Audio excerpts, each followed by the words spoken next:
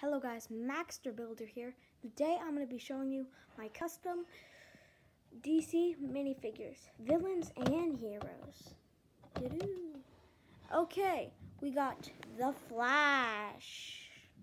Very detailed. He is a original figure. Real. Superman, real. Nightwing, real. Batman, real.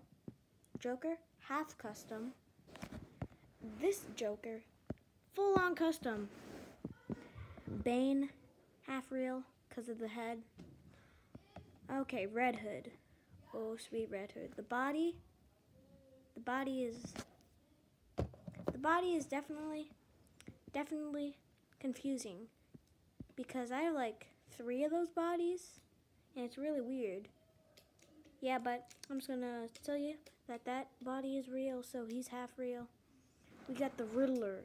Oh, the Riddler. I, I uh, lost his Riddler thing, so I just replaced it. Harley Quinn. Yeah, just Harley Quinn. And another Joker. I have three Jokers. Crazy. And my, my personal favorite, Killer Croc. He's a monster man. And also, Clockman. Yeah, Clockman. I don't know where his cape is. Anyway, guys, that's it, and that's all. Have a great day.